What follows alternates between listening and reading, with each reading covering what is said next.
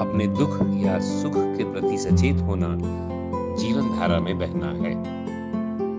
यह है श्री भगवान का आज का सूत्र और अब गुलबर्गा से रामपुरी का चमत्कार। एक बार मुझे रायचूर जाकर वापस गुलबर्गा आना था। रायचूर पहुंचकर अपने सारे नियत कार्य पूरे करके मैं अपने कमरे लौट आया। क्योंकि मेरे सारे कार्य जल्दी ही निपट गए थे, मैंने तय किया कि आराम कर लूँ, क्योंकि मेरी गुलबर्गा की ट्रेन तो रात को मैंने अपने बेटे को, जो बेंगलोर में रहता है, फ़ोन करके मुझे जगाने के लिए भी कह दिया, ताकि मेरी ट्रेन छूट न जाए।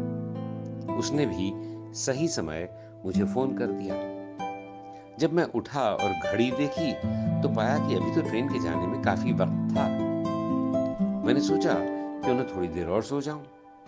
आधा घंटा ही सही। पर अब की बार जब मैं उठा तो मेरी ट्रेन जा चुकी थी।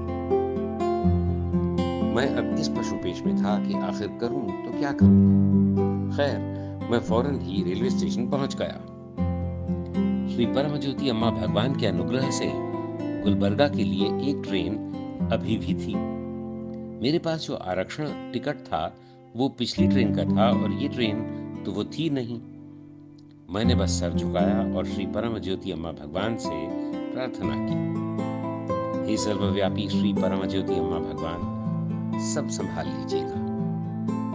उनकी कृपा से मुझे एक खाली सीट दिखी और मैं उस पर बैठ गया। जल्दी ही टीटी आ गया। उसने सिवा मेरे बाकी सबके टिकट चेक किए। ये वाकई बहुत ही चौंकाने वाला था। कुछ समय बाद एक और टीटी आया। हैरत की बात यह थी कि इसने भी बाकी सारे मुसाफिरों के टिकट चेक किए, पर मुझसे टिकट के बारे में पूछा तक नहीं। और इस तरह मैं बिना वैध टिकट के, बिना किसी परेशानी के गुलबर्गा पहुँच गया।